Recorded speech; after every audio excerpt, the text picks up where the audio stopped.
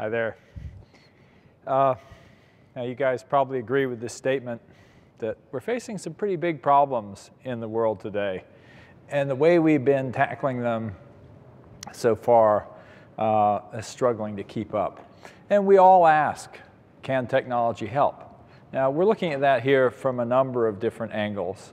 Uh, but I'm going to try to take a perspective that you might not otherwise have.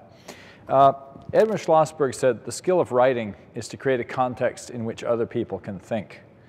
Um, I'm going to try to give you a perspective on the trends, the extraordinary convergence of computing and human potential that's taking us towards what you might actually call a global brain. Now let me start in a, perhaps an area that seems very close to what you're talking about here, but has some unseen dimensions, and that's the Google autonomous vehicle, self-driving car. You know, what I want to draw your attention to is uh, the fact that when the DARPA Grand Challenge was held in 2005, this is one of the vehicles that competed, the Victor went seven miles in seven hours. Uh, 2011, Google announced that they had driven hundreds of thousands of miles in ordinary traffic. What happened in those uh, six years?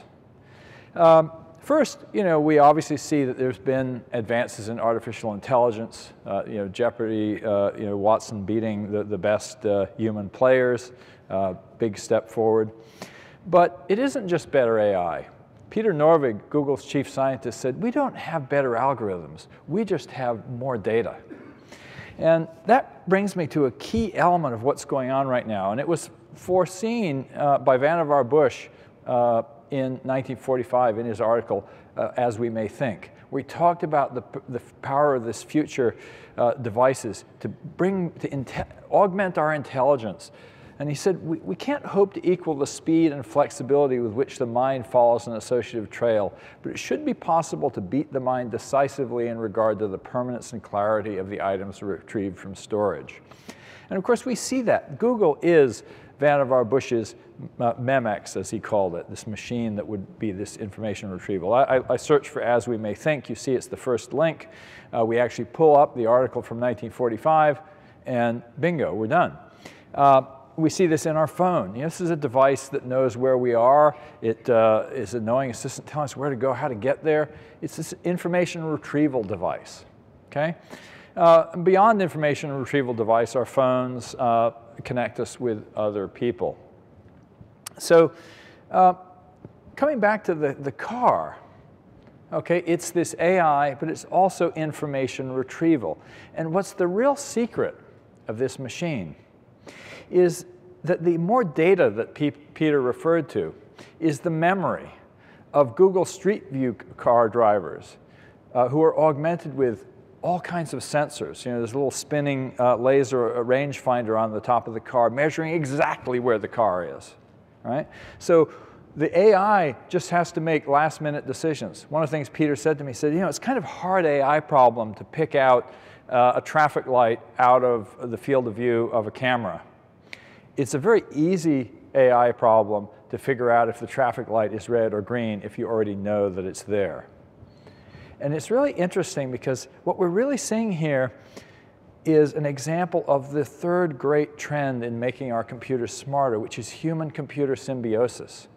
And this was also foreseen early on. In 1960, J.C.R. Licklider, who was the DARPA program manager who actually funded uh, TCP/IP and really gave us the internet, wrote that he hoped that in not too many years, human brains and computing machines would be coupled together very tightly, and that the resulting partnership will think as no human brain has ever thought and process data in a way not approached by the information handling machines we know today. And that's what you're seeing in that Google electronic, that Google autonomous vehicle. It's human brains coupled with computers, coupled with AI, through the mechanism of stored data. The, the, the car is remembering what the people did. And this is yet another example of what I've been calling since I sort of started promulgating the term Web 2.0 as an example of harnessing collective intelligence.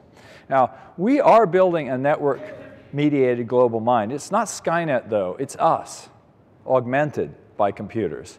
And there's this great definition of uh, collective intelligence and global consciousness uh, uh, by Danny Hillis, where he said global consciousness is that thing responsible for deciding that pots containing decaffeinated coffee should be orange.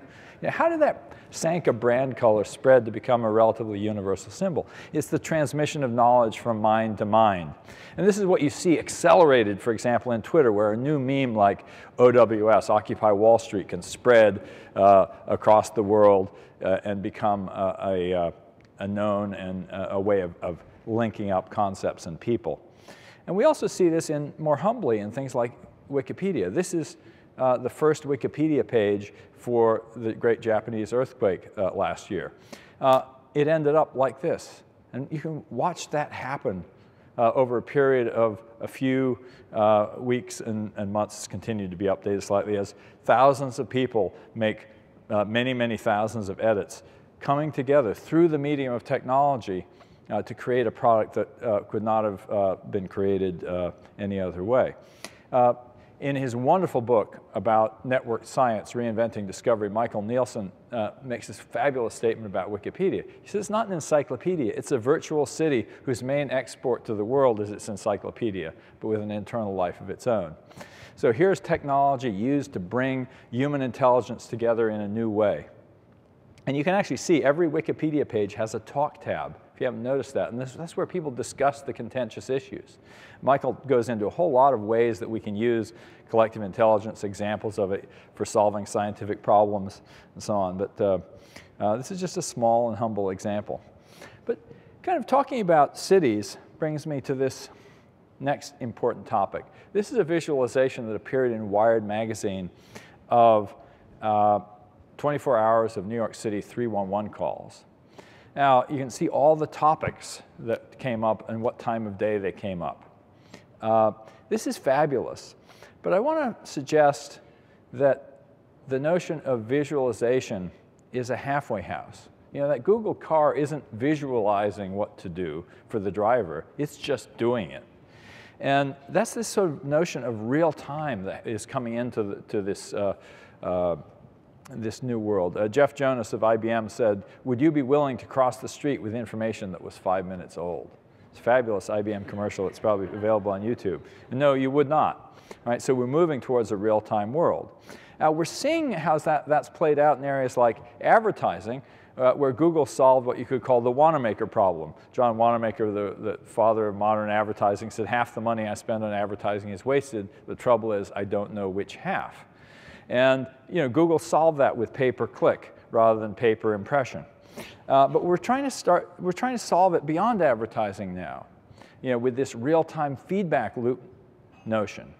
You know, where uh, Pascale Witz of GE Medical Diagnostics pointed out how healthcare is changing, where we're starting to shift from the notion that you do diagnosis and then you do treatment to that you're doing a constant cycle of diagnosis and treatment until we figure out what works. And we see the same sort of aspect of real time that we see in the Google vehicle, that we see in Google advertising, that we see in uh, now in medical diagnostics, now in uh, managing our traffic, in managing uh, our, our vehicles. So here, San Francisco SF Park uh, has connected parking meters that tell you where the parking is, where it's available. You're starting to see this feedback loop between humans uh, and uh, computers in real time so that the car, uh, the driver uh, can find out where to park, less traffic, less, uh, less waste.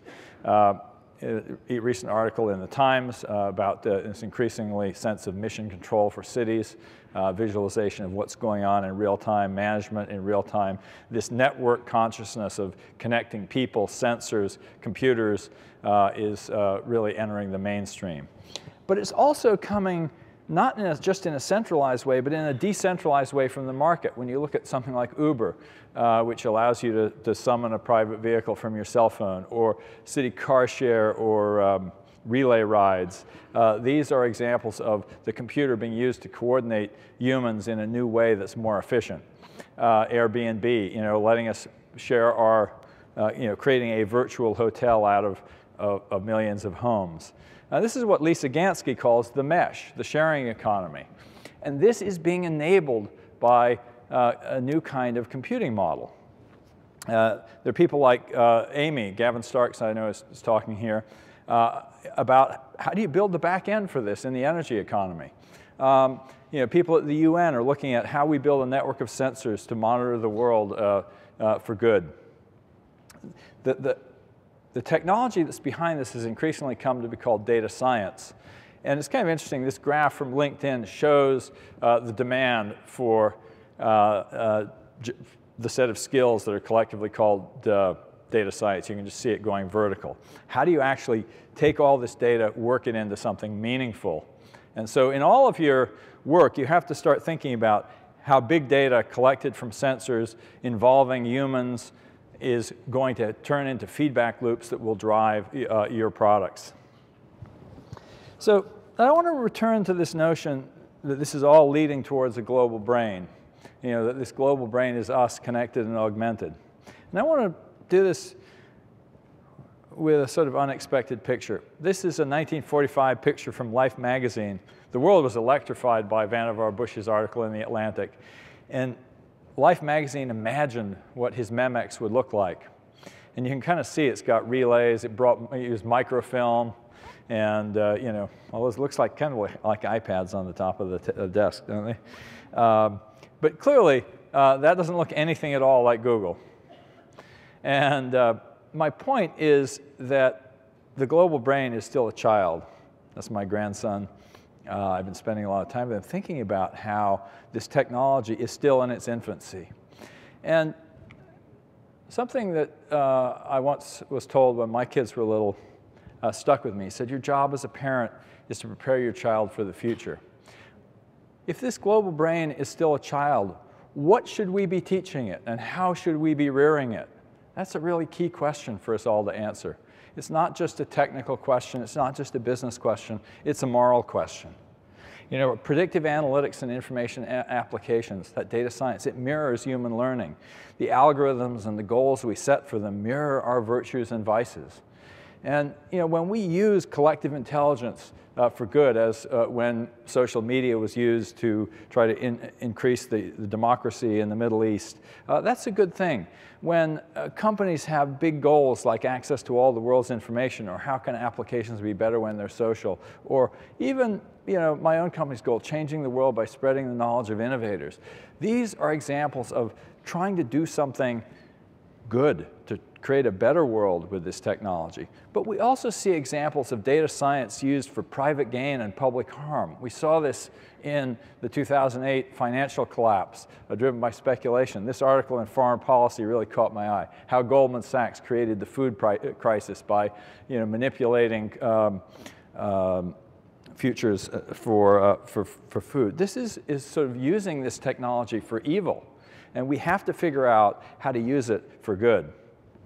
So my question uh, for you, and to make sure you put this into your thinking, and I know because of who you are in this group, um, it, this is on your mind. We have to ask, how are we going to make this emerging global consciousness not just more resilient, not just more able to help us uh, build a new kind of economy, a new kind of energy uh, system, uh, a new kind of culture, but also uh, how will we make it more moral? Because We've only got one world. You guys know this. And we've got to get it right. Thank you very much.